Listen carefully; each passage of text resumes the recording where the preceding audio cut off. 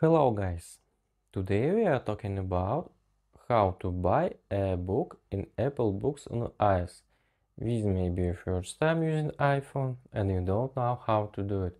Today we're gonna show you this. So let's go to the Apple Books. To find a book, click on the search icon and enter the title of a book.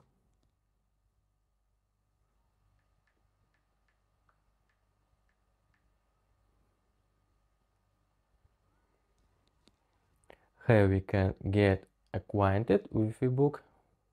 For example, when it was released, how many pages it has, and more. To buy it, click Get.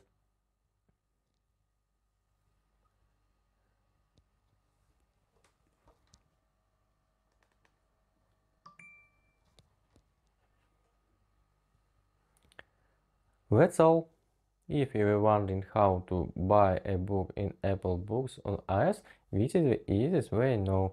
If you know no way, please leave a comment. Be sure to subscribe for more videos. Bye bye.